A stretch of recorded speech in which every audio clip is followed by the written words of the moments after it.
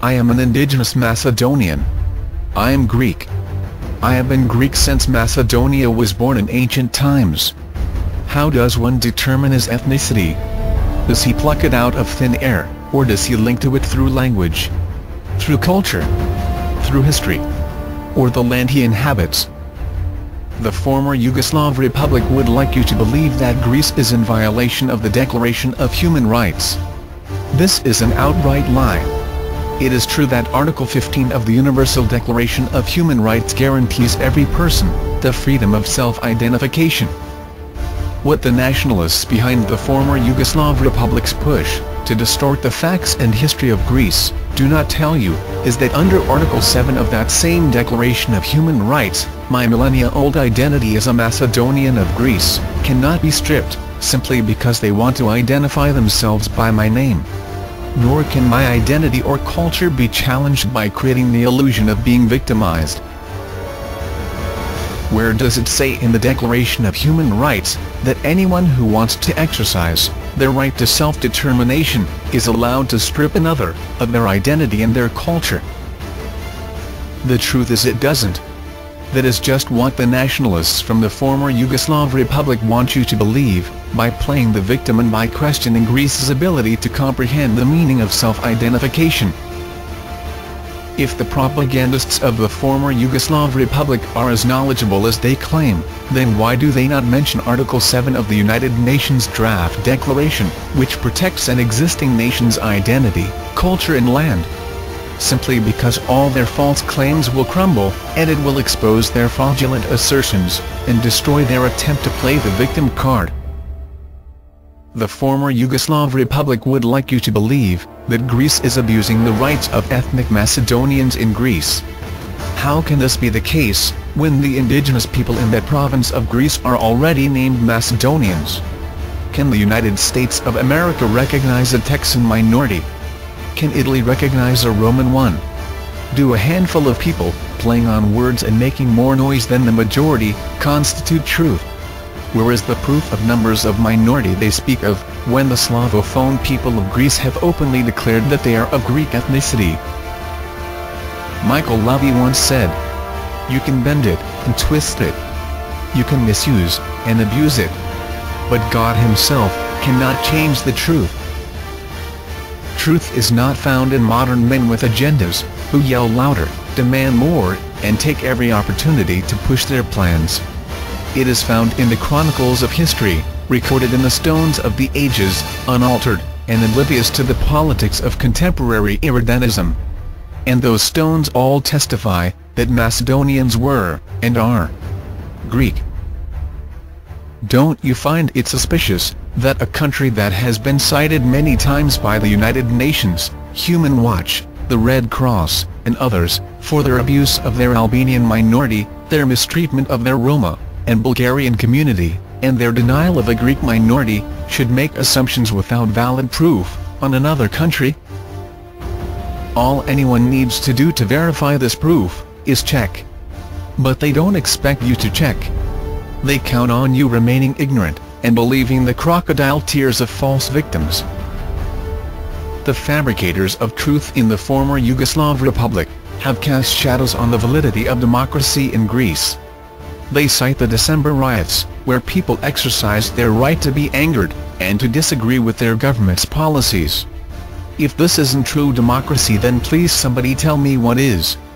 Is true democracy found in Article 16 of Law on Scientific Research Activity in the former Yugoslav Republic, that denies its citizens the right to investigate their historical or cultural identity? Is it in the abduction and illegal detainment in a mental institution, of a blogger because he dared to speak out against the lies? Is it the confiscation of Bulgarian literature, because it dares to show their true Slavic origins? Or is democracy a weapon of words to be used on others, but never applied to oneself? So too, they claim that Greece has a historical obsession, and preoccupation with self-greatness, as inheritors of the ancient Hellenes pride in one's heroes and in one's past, is not limited to Greece alone. Are you obsessed by your past because your schools teach the American Civil War? Are you preoccupied with self-grandeur, because you celebrate Thanksgiving or St. Patrick's Day. If, as an American, you identify and are proud of George Washington, or you are proud of Braveheart as a Scotsman, or as an Apache, proud of Geronimo, Gandhi as an Indian, are you not also guilty of delusions of grandeur? Greece has every right to be proud of their ancestors.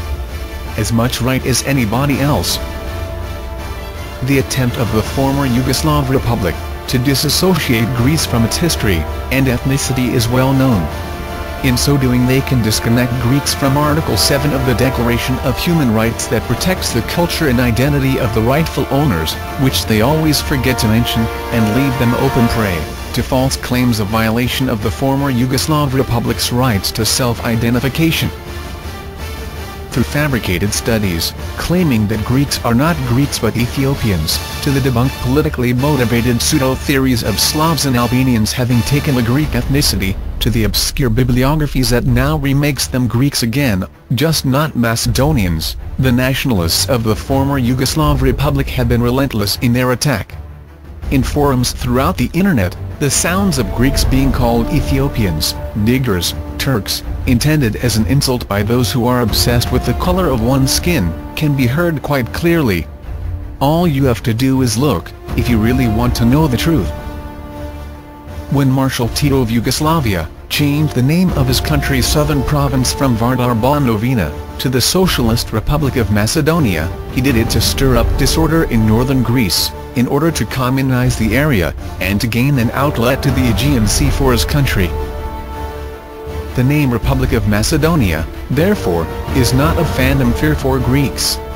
It is linked with a deliberate plan, to take over a part of Greek territory that has had a Greek identity, for more than four millennia. When Yugoslavia dissolved, Greece believed that the former Yugoslav Republic, and its leaders, would abandon the illegitimate use of a name it adopted during the communist era, and change it, as the Soviet Union did, to make a clean break with its past.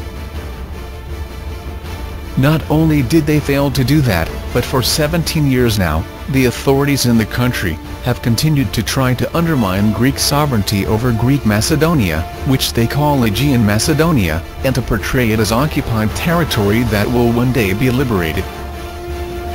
While government leaders declare that they have no designs on Greek territory, they refuse to remove such claims from textbooks, speeches, articles, maps and national documents. In fact, by insisting on the name Tito gave the area, they perpetuate the goal he pursued. Who is then unreasonable? The people with the valid link, through history, through language, through etymology and consciousness, living in the land that has always been Macedonia, who have so far given over the use of part of their historical name to keep the peace. Who has an agenda? An unrelated Slavic people, who speak an unrelated Bulgarian dialect, living in an area that was a conquest of the Macedonian Greeks, but never Macedonia proper. Who have an age-old history of territorial aspiration. Who incites their people to nationalistic fervor, and expansionist ideas whose propaganda has been debunked by the academics of the world. I am Macedonian because my history, my culture, my land and the consciousness of my family link me to the historical Macedonia of Greece. The truth of the Greekness of Macedonia has motivated over 350 of the world's academics, from the world's leading universities, to sign a petition in order to protect the truth of Macedonia, from the lies of the former Yugoslav Republic. The truth of the Greekness of Macedonia motivated Barack Obama to initiate Resolution 300, calling on the ceasing of the propaganda and irrelentless policies of the former Yugoslav Republic, against the cultural history, integrity, and land of Greece and its people. I am Macedonian because I speak the same Greek language of my ancestors. Because my name is pronounced, and has the same Greek etymology, because my cities are called as they were intended, by the names they were derived. It is Thessaloniki, not Solun. From Alexander to my grandfather, my ancestors have fought and died, to protect Greece from foreign invasion. I am an indigenous Macedonian. I am Greek. The Declaration of Human Rights under Article 7 of the United Nations Draft Declaration guarantees that my culture, my identity, my integrity, and my name, are protected. That is, my human right. I am Macedonian. Therefore, I am Greek,